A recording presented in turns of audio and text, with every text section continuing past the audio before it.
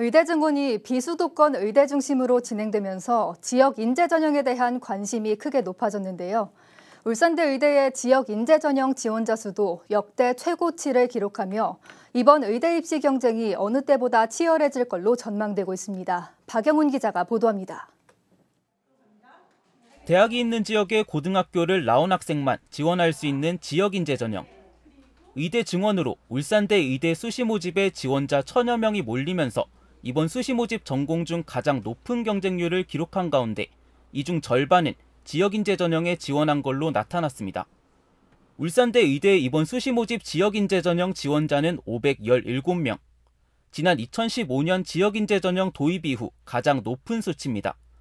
지난 2024학년도 당시와 비교하면 두 배 넘게 오른 건데 비교적 낮았던 울산 지역 지원자도 두 배 넘게 급증했습니다. 이번 수시 모집 전공 전체를 놓고 봐도 울산대의 지역인재 전형 지원자는 최근 5년 새 가장 높은 수치를 기록했는데 이 역시 지난해보다 두 배 넘게 오른 수치입니다. 이처럼 지원자가 몰린 이유로는 의대 증원과 함께 2025학년도부터 지역인재 전형이 확대됐기 때문인 걸로 분석됩니다.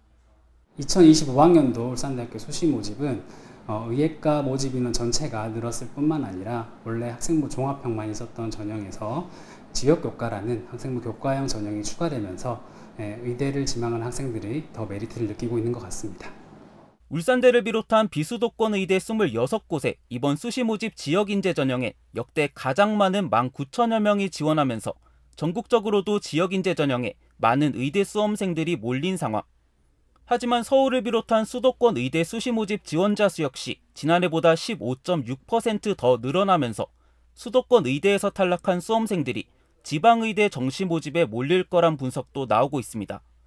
의대 증원과 지역인재 전형 확대 등의 영향으로 의대 지원자가 급증하면서 이번 2025학년도 의대 입시 경쟁은 어느 때보다 치열할 걸로 전망되고 있습니다.